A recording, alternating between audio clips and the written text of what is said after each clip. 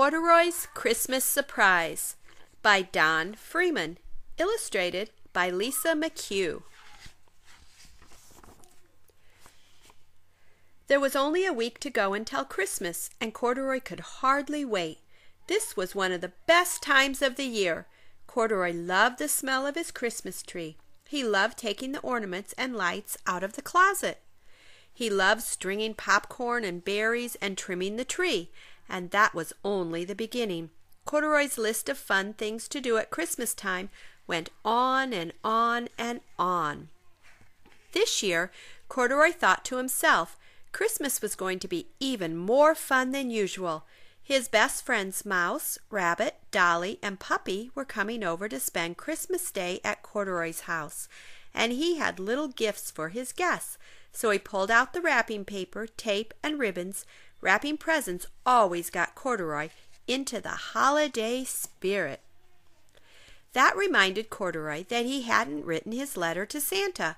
What did he want for Christmas? Well, thought Corduroy, it would be fun to have ice skates this winter. He could use a new warm sweater. Oh, he had always wanted a train set, and a new ball would be nice too. Corduroy wrote his letter in his neatest, best printing. Just then the doorbell rang. Ding dong! Corduroy put down his letter and went to the door, and there was Mouse, Rabbit, and Puppy standing in front of his house, and they were singing, We wish you a Merry Christmas and a Happy New Year. When the carolers had finished, Puppy said, Corduroy, grab your coat and come with us.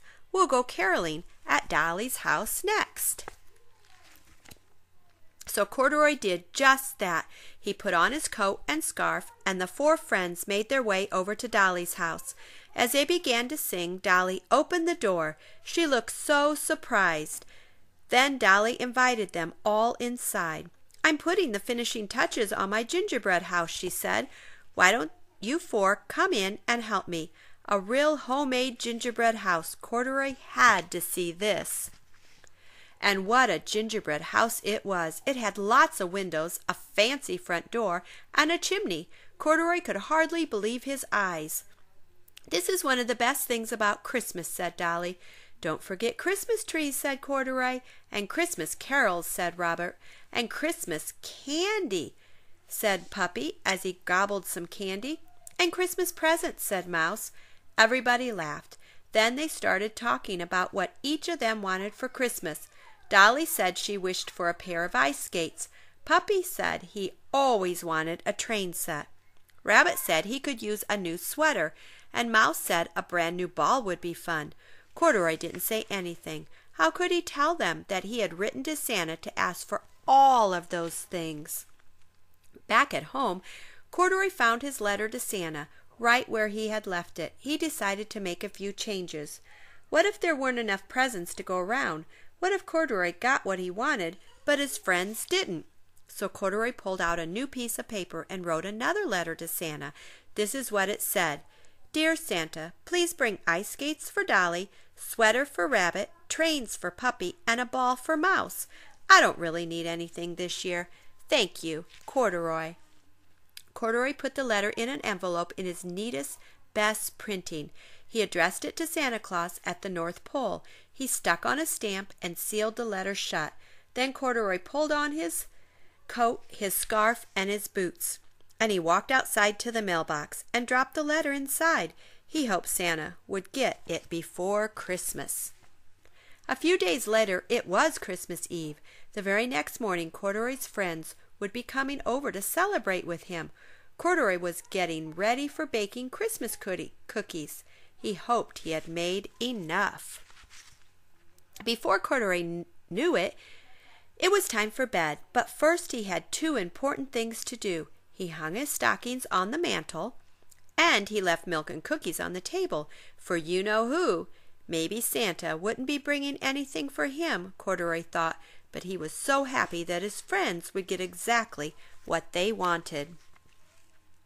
Then Corduroy climbed into bed. All night long he dreamed of the happy looks on his friends' faces when they opened their presents on Christmas morning.